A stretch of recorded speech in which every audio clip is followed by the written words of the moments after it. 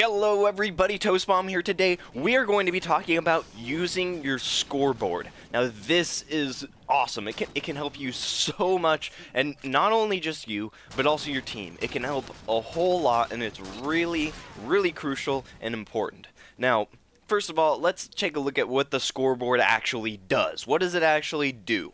Well, you hold back and it presents you with a list of all the players in the game. Sometimes some of the players will kind of be grayed out, maybe have like an X next to them, and that means they are dead.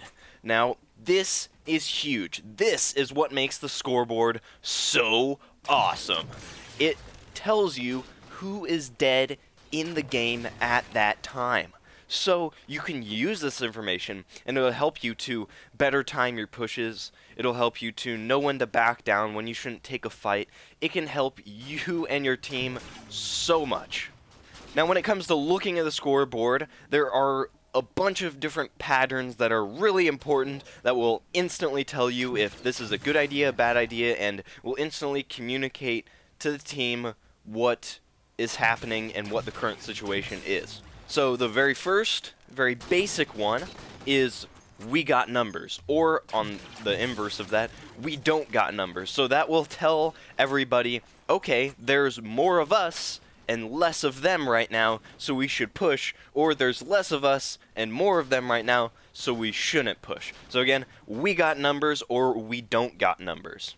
That is a very important one and can be very useful for pushing.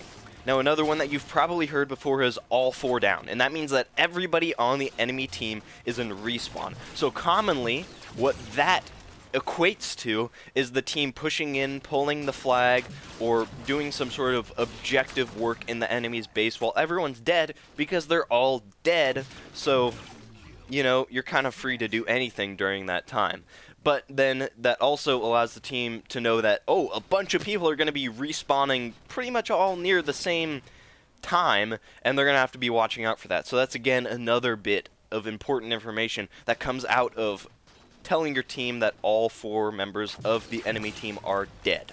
Another one that is really useful is to say 3v3 right now, so if you see that one person on your team's dead, one person on the other team is dead, and you call out 3v3, that lets everybody know that you're not up numbers, they're not up numbers, it's all equal, and they know what they need to do and how they need to push. They can more intelligently make decisions based upon that. Also, very similarly, you can shout out uh, 2v2, so again, they know that they're equal numbers, or even 1v1.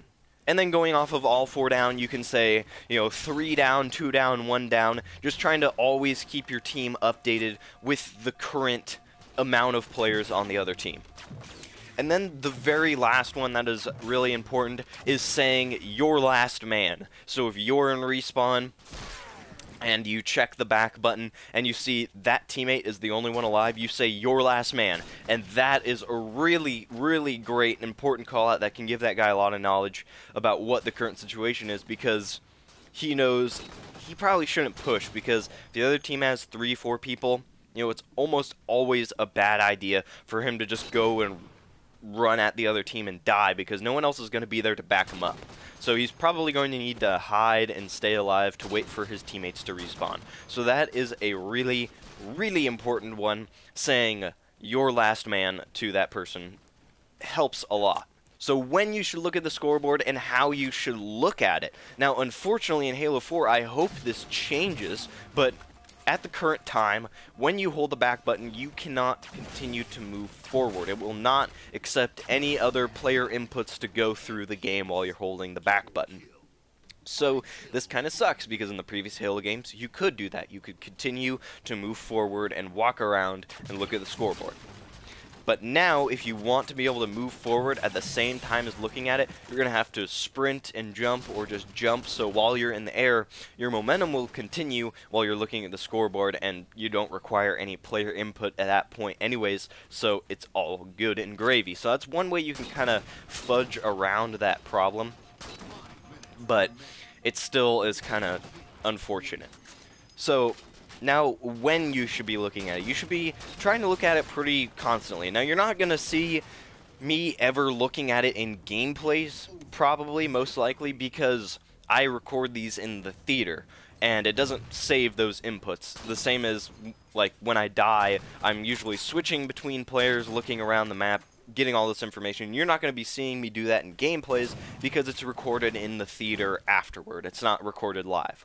So, you know, I'm constantly checking the leaderboard, but you're not going to see me in the gameplays doing it. Anyways, you should be looking at it fairly constantly. If there's some downtime, you can quickly check it there. If you're in respawn, you should definitely check it and let your teammates know if any of these patterns show up, what the current situation is, if it's good to push, if it's not good to push, you got numbers or not. That is a really, really great way of doing it because there's no risk there. You're dead in respawn. So that is a great time to check it. But just any time that it's, you know, seems appropriate, uh, if a bunch of people call out that they've killed people, that is a good kind of warning sign to be like, oh, I should check the leaderboard, because that means that probably a lot of people are going to be dead, and then you can check it there and say, oh, they got three down, or all four down, and you can push into the base and cap the flag, whatever. So that's when you should be checking it. Try to remind yourself constantly to check it because it might not be something that you've used before in your game, so you might not be used to uh, like knowing that you can do that. So just kind of try to keep it at the front of your mind while you're playing and check it constantly. Maybe just like go all out crazy, like check it like every 10 seconds for a game or something, just to kind of pound it into your mind that this is a thing that you can use because you might forget about it sometimes. So anyways, that'll be it for this video. If you liked it, you can leave a like or a comment, or you could subscribe because I post new Halo videos every day. Anyways, thank you for watching. See you tomorrow. Bye.